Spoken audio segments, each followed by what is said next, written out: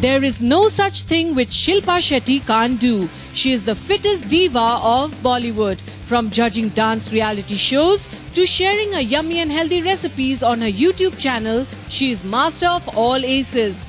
The actress has come again with a new cookbook which is titled as The Diary of the Domestic Diva.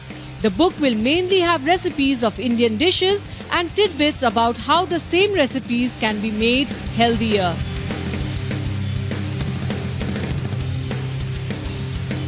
Renowned chef Sanjeev Kapoor has written the foreword for the book. This is the second time Shilpa has written a book.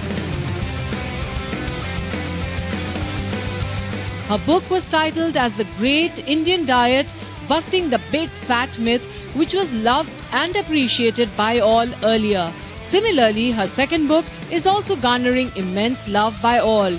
The book titled The Diary of the Domestic Diva.